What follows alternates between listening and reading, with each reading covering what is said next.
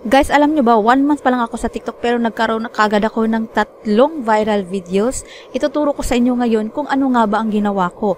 May technique naman talaga kung paano gumawa ng videos na magva-viral.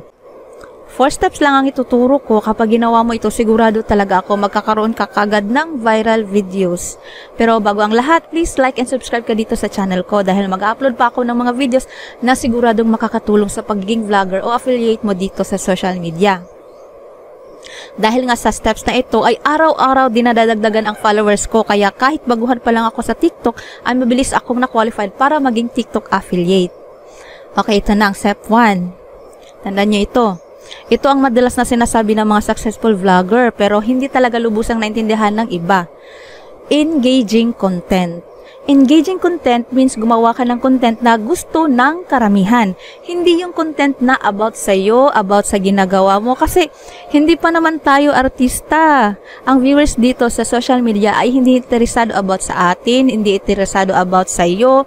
Kasi hindi, ka, hindi pa nila tayo kilala. Ikaw, hindi ka pa kilala. Bibigyan kita ng halimbawa na mga engaging content. Like, um, informative video, gaya nung ginawa ko sa TikTok uh, funny videos, relatable videos, yung mga videos na maraming nakaka-relate at mga videos na may benefit na makukuha ang viewers mo.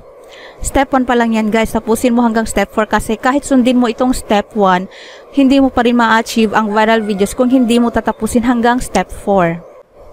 Okay, step 2. Sigurada, siguraduhin mo na original ang content mo, ang ginawa mo. Ibig sabihin, walang copyright, walang violation.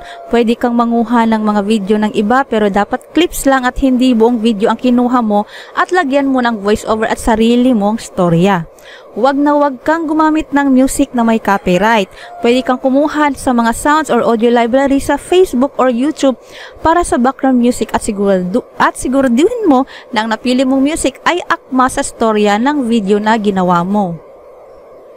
Huwag na huwag ka din gumamit ng mga foul words kung di ka uh, yung I mean yung di kaaya-ayang mga salita. Kasi alam mo ba, may nag-viral akong video, umabot ng lagpas 1 million yon 1 million yung views. Pero nagka-violation dahil dito. Kaya dinilit ko na lang yung video. Sayang talaga. Kaya ito na, step 3. Gumawa ka ng video na 1 to 3 minutes only. Huwag masyadong pahabayin ang video mo dahil kapag masyado ng mahaba, may tendency na mabubore ang iyong viewers at mag-scroll up bigla at lumipat sa ibang video. Pero kung gusto mo talaga ng mahaba, ay siguraduhin mo lang na ang buong takbo ng video mo ay kaiinteresan pa rin ng mga viewers.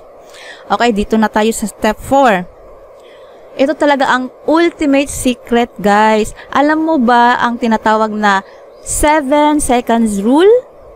Yan. Ibig sabihin, sa panimula pa lang ng video mo, hanggang mga 7 seconds, ay siguraduhin mo talaga na ang maipapakita mo kaagad yung baga yung client ng story sa video mo, yung pinaka-interested na part, doon mo talaga ipakita sa simula pa lang ng video mo. Dahil iyon ang nagsilbing hook para mapatigil ang mga viewers sa pag-scroll up at manatiling manood sa ginawa mong video. Okay, yan guys ha. Kung may natutunan ka sa video ko, paki-like and subscribe naman at kung may katanungan ay ilagay lang sa comment section. See you in the next video!